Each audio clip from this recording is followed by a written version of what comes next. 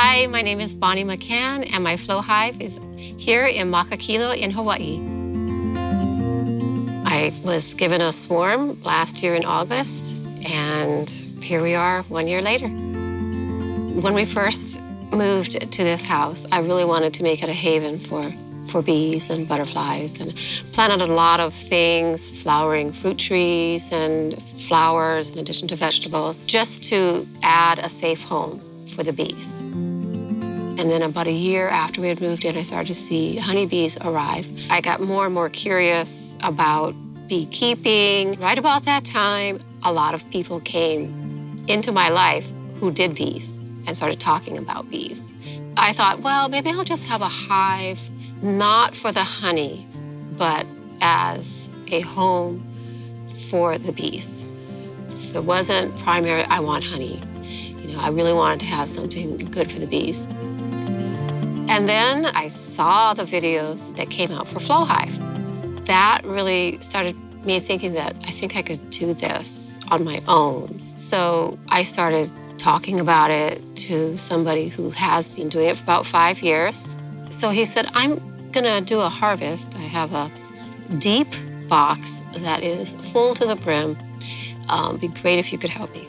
I said, great, this is what I need. I wanna see what a harvest is like. Few hours later, very hot, sticky, I came home, I called my husband, we're getting the flow hive. we are getting the flow hive. I said, that was a lot of work. It was hot. It was, it, I, I couldn't imagine doing it by myself. And, and that was it.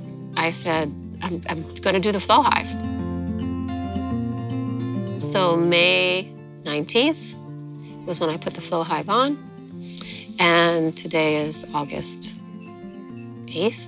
And um, they're definitely in there. They're doing some capping, they're putting in a lot of honey.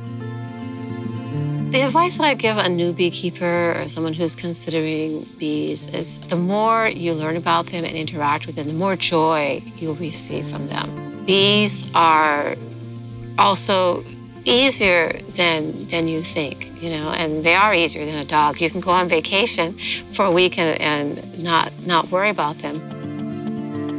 It's just it's another anchor to bring me outside and make me slow down and look at things and care for things and weeding the garden is so much more pleasant when you can sit there and smell smell the honey.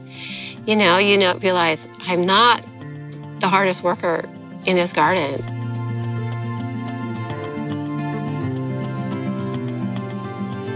How cool was that?